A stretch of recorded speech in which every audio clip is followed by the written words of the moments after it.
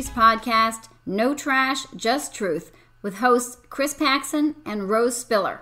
At Proverbs 910 Ministries, we are dedicated to taking out the trash of false teaching and replacing it with biblical truth. Welcome to the bonus episode of No Trash, Just Truth.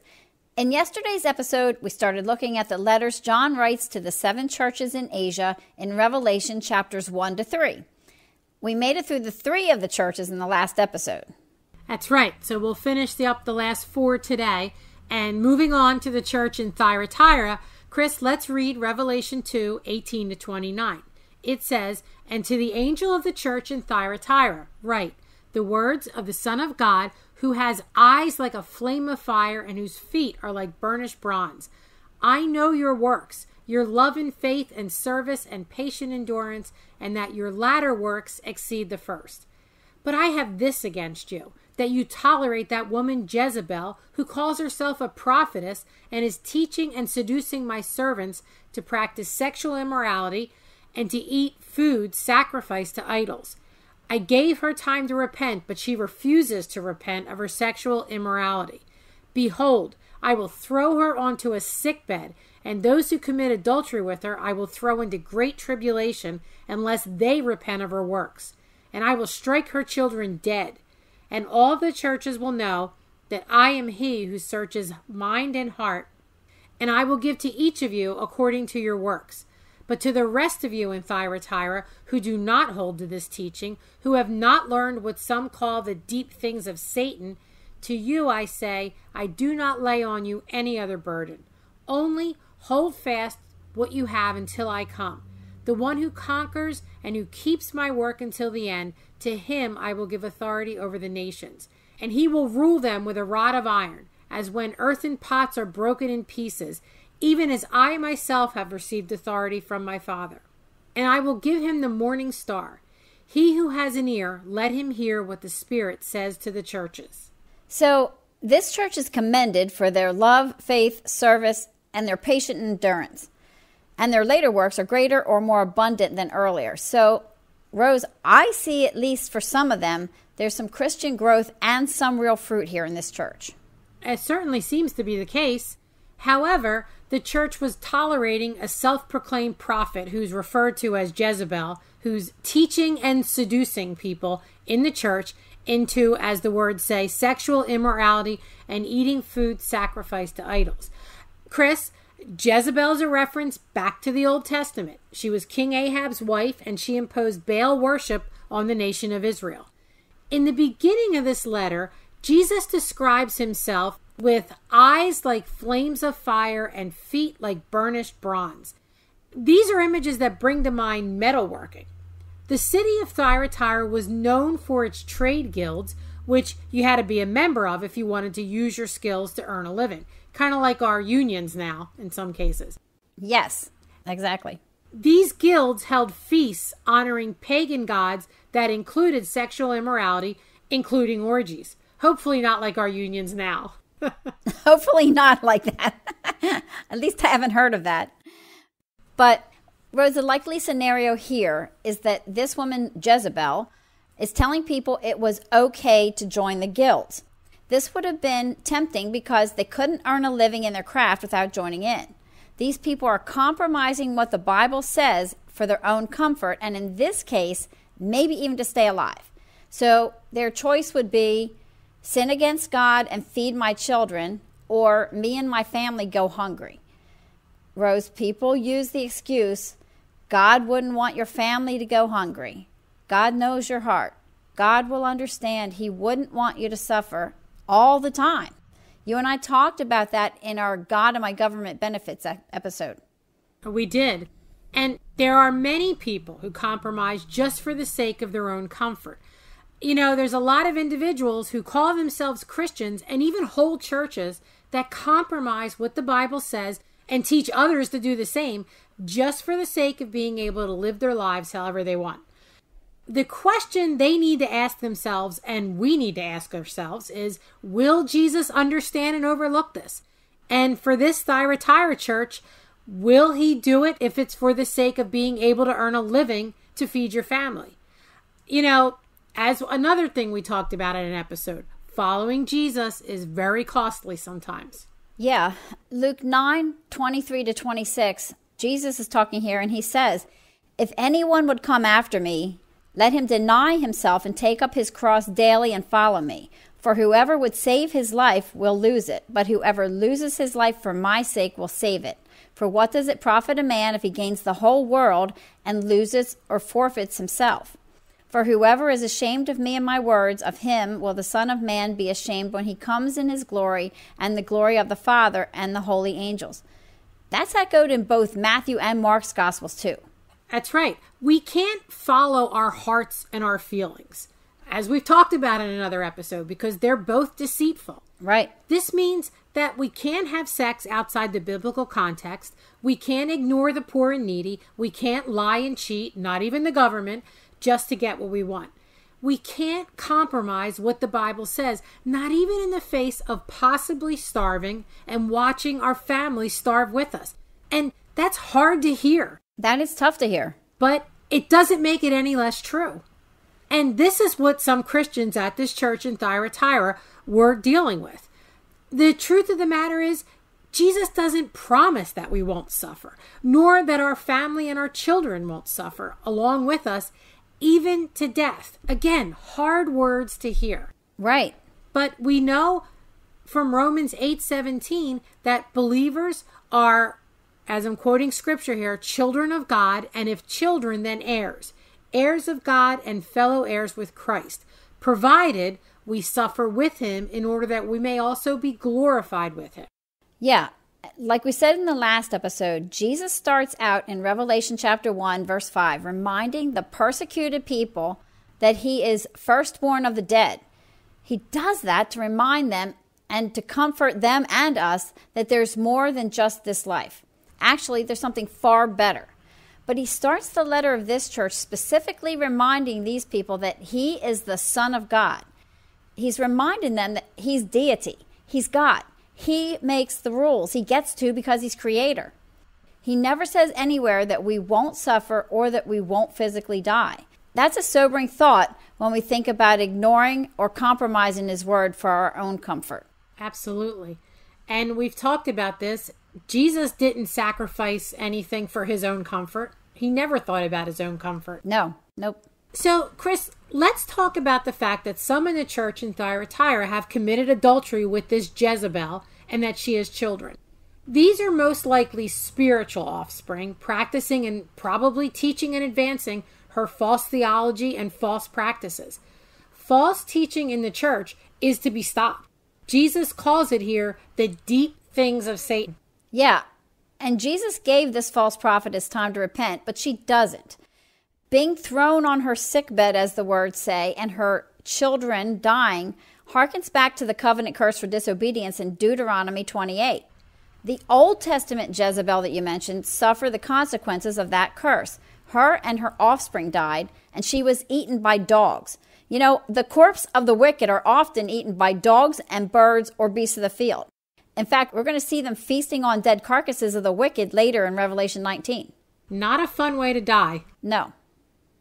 There was a remnant in the church of Thyatira, though, that didn't hold to the false teaching. Jesus says that he's not going to lay on them any other burden other than what they've already been putting up with in the church and with these people. Chris, it's a burden to be a true believer in a church where there's false teaching going on and nothing's being done about it. It's got to be horrendous in a time of harsh persecution to see others who claim to be believers living the life by compromising God's word. Yeah, I, that's got to be tough. That's got to be horrible. And it's got to be comforting to them that someday they and we will reign with Christ. And we're not exactly sure what that's going to look like, but we can take comfort in it. When this passage mentions pottery being dashed to pieces, that's hearkening back to Psalm 2, where it says that Jesus will break the wicked with a rod of iron and dash them to pieces like a potter's vessel. Psalm 2 ends with a warning to be wise, serve the Lord with fear, and rejoice with trembling. A good warning to heed. Absolutely. Okay, so we still have three churches to look at. The next church is in Sardis. I'll read that. Revelation 3 1 to 6 says, And to the angel of the church in Sardis write the words of him who has the seven spirits of God and the seven stars. I know your works. You have a reputation of being alive, but you are dead. Wake up and strengthen what remains and is about to die. For I have not found your works complete in the sight of my God. Remember then what you received and heard. Keep it and repent. If you will not wake up, I will come like a thief, and you will not know at what hour I come against you. Yet you still have a few names in Sardis, people who have not soiled their garments, and they will walk with me in white, for they are worthy. The one who conquers will be clothed thus in white garments, and I will never blot his name out of the book of life. I will confess his name before my Father and before his angels.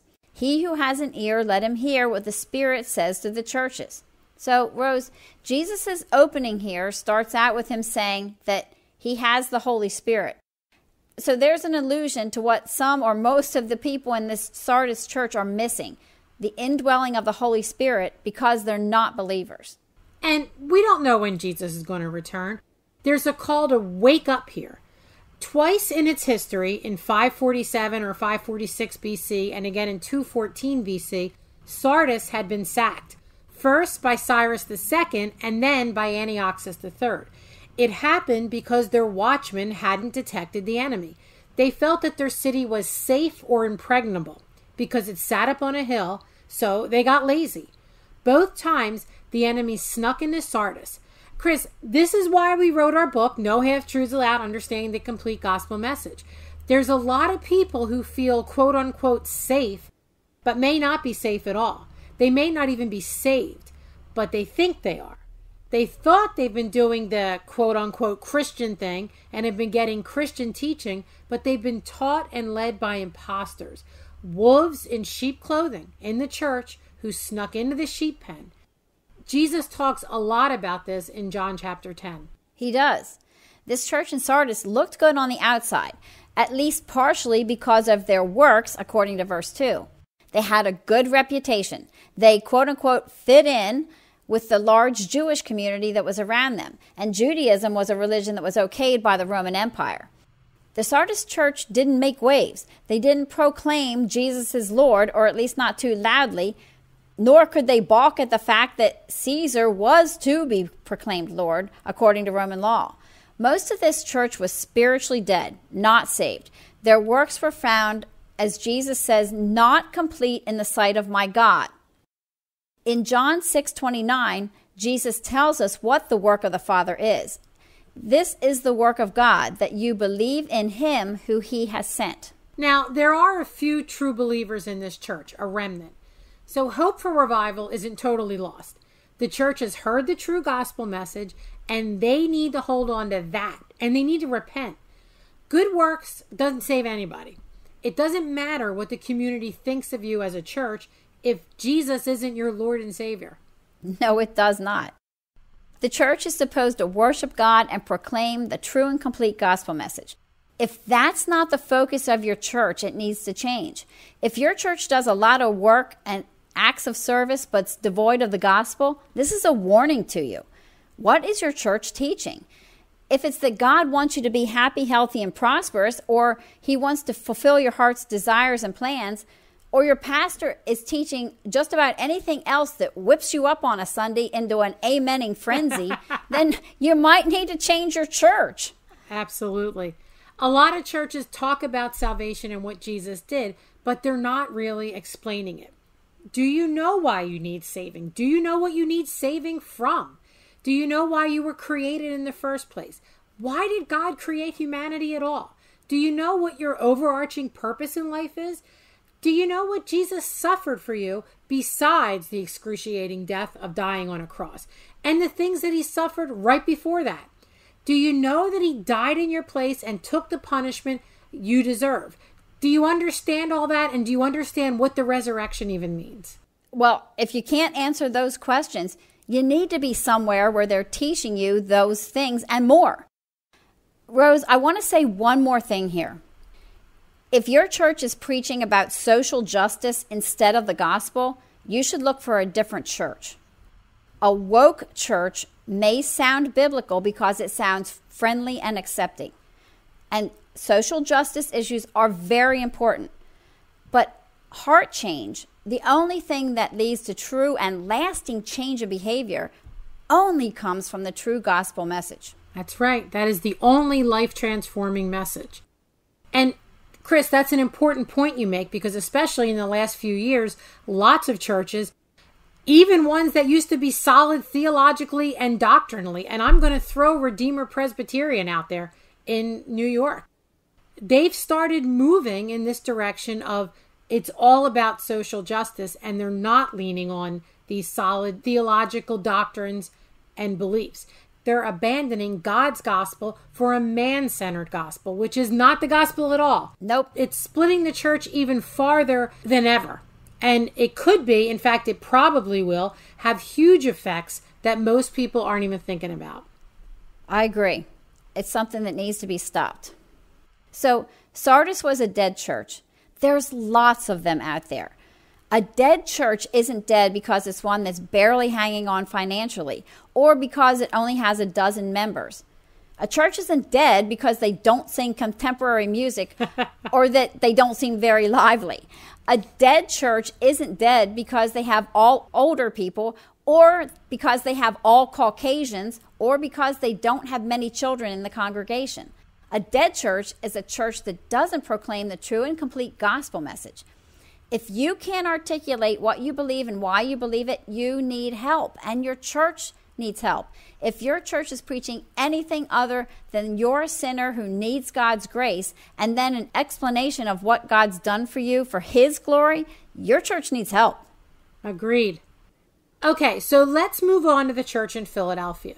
Revelation 3 7 to 13 says, And to the angel of the church in Philadelphia, write the words of the Holy One, the true One who has the key of David, who opens and no one will shut, who shuts and no one opens.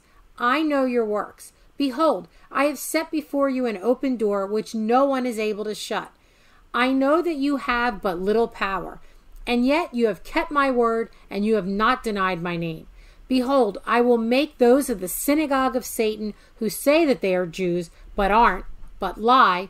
Behold, I will make them come and bow down before your feet and they will learn that I have loved you.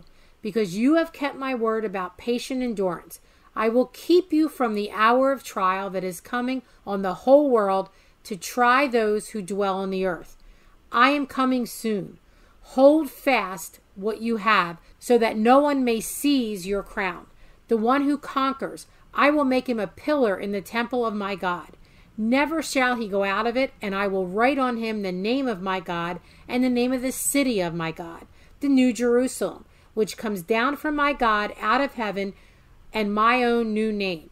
He who has an ear, let him hear what the Spirit says to the churches. So, Chris, the church in Philadelphia only gets a commendation from Jesus. They stood firm, they kept his word, they didn't deny him, and in the not too distant future of receiving this letter, during the time of Polycarp, who we mentioned, there was going to be some real harsh persecution, and a lot of people were going to suffer martyrdom. Yeah. Jesus begins this letter stating that he is the one who holds the key to the door of life. No one else can open it or shut it. He tells this church the door is open for them. For people who have little power and are suffering and are going to really continue to suffer, even to death, has to be a comfort.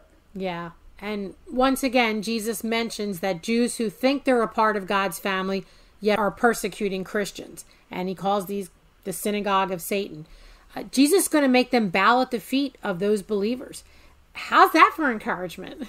It sounds pretty good to me. That's what I would want to happen. But Jesus also promises to keep the Philadelphia church from the hour of trial that's coming on the whole world. So we need to address this a little bit. The left behind believers think this means believers are going to be raptured off the face of the earth before a period of great tribulation. But believers are promised temptation, trial, and tribulation over and over again through the Bible. We've already said it, I think, in this episode. So that idea doesn't seem to fit here. Also, this passage has to have some meaning for the actual people that it was written to. So, a future rapture out of harm's way isn't what this is about at all. Yeah, I agree. This is talking about spiritual protection. Because believers are sealed with the Holy Spirit for salvation, they can never lose it. So Jesus is telling this church that they can endure whatever suffering is coming, even suffering an intense time of tribulation brought on the world by God. Jesus prayed to the Father for believers. In John 17 15, Jesus said, I do not ask that you take them out of the world, but that you keep them from the evil one. And yet he still tells these believers, hold fast to what you have so that no one may seize your crown. Paul says the same thing in Philippians 2:12. Work out your own salvation with fear and trembling. So it seems like they're saying the opposite of they're going to be kept. So why do they say this? Well, because unlike the Nicolaitans who practice antinomianism, which we talked about I think in the previous episode was a Christian who thinks because they have grace they can do whatever they want, sin however much they want and just because they already have grace. But we can't be lax about our faith. We can't go on sinning as if it means nothing and trample on the grace of God. Absolutely. That's called cheap grace.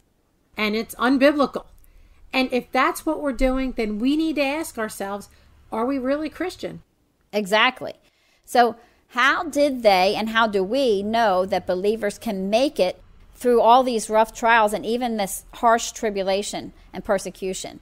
Well, we get the answer from Jesus in verse 10 I will keep you. And we get it from Paul through the Holy Spirit in verse 13 of the Philippians chapter 2 passage. Paul says, For it is God who works in you, both to will and to work for his good pleasure. So it's God that keeps us. Absolutely. God keeps us, He seals us, He protects us. It's referred to as perseverance of the saints. And we persevere because God is the one doing the preserving. If we were left on our own, we could never do it. Nope. Okay, Chris, one more church to look at, and that's the church in Laodicea. And Revelation says, To the angel of the church in Laodicea, write, These are the words of the Amen, the faithful and true witness, the originator of God's creation. I know your deeds. You are neither cold nor hot. How I wish you were one or the other. So because you are lukewarm, neither hot nor cold, I am about to vomit you out of my mouth. You say, I am rich, I have grown wealthy and need nothing, but you do not realize that you are wretched, pitiful, poor, blind, and naked. I counsel you to buy from me gold refined by fire, so that you may become rich, white garments, so that you may be clothed, and your shameful nakedness not exposed, and salve to anoint your eyes, so that you may see. Those I love, I rebuke and discipline. Therefore be earnest and repent. Behold, I stand at the door and knock. If anyone hears my voice and opens the door, I will come in and dine with him, and he with me. To the one who overcomes, I will grant the right to sit with me on my throne, just as I overcame and sat down with my Father on his throne. He who has an ear, let him hear what the Spirit says to the churches. Okay, so this city was known for its medical and its textile industries. The city was rich. You know, you want to know how rich this city was, Rose?